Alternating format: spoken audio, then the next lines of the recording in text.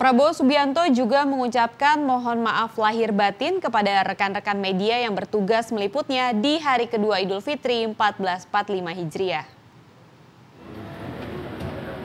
Sehat Pak Presiden.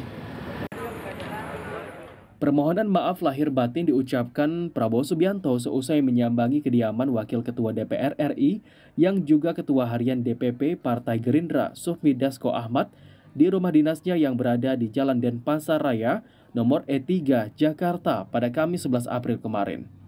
Prabowo nampak hadir mengenakan pakaian batik lengan panjang bercorak coklat. Kedatangan Prabowo Subianto disambut langsung oleh Dasko di depan kediamannya.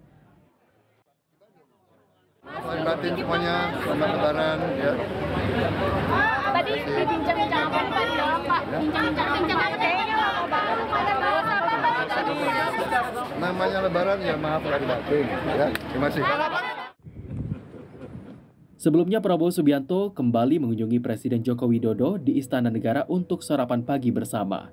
Sedikit berbeda di hari kedua ini, Prabowo ditemani oleh putranya Didit Hedi Prasetyo. Jokowi pada kesempatan itu didampingi Ibu Negara Iriana Jokowi, putranya Kaisang Pangarep, dan menantunya Erina Gudono. Demikian laporan tim berita Garuda TV.